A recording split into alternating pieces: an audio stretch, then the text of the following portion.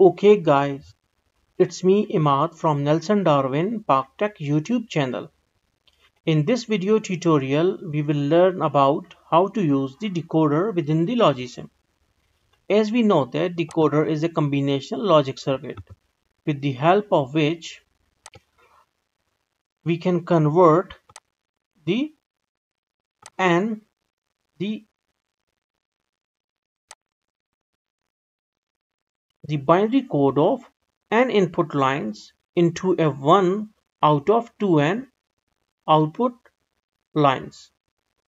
So how we can do it? Simply as we are using a 2 to 4 decoder here so we need to drag the decoder main symbol here on the window. Now you can see that there is there are two input types and two outputs. Then we need to do one thing. First we have to disable the enable. So you can see that one of our input gone. Now the selection bits must be 2 selection bits must, must be 2 and the number of outputs here are now changed to 4 because it is what's called is the 2n okay? If the number of inputs are n then we can say that output are 2n now we need to connect our output output here output logic analyzers here and this is like this okay? Then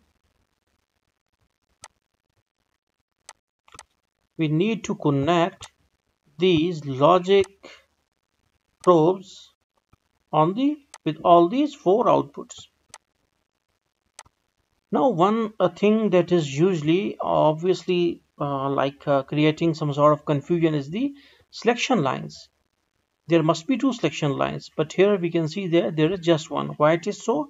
Because it is of 2 bit. Because it is of 2 bits. So that is why we need to uh, connect our logic state with it but we have to change this data bits to 2 and here you will see that it is now okay.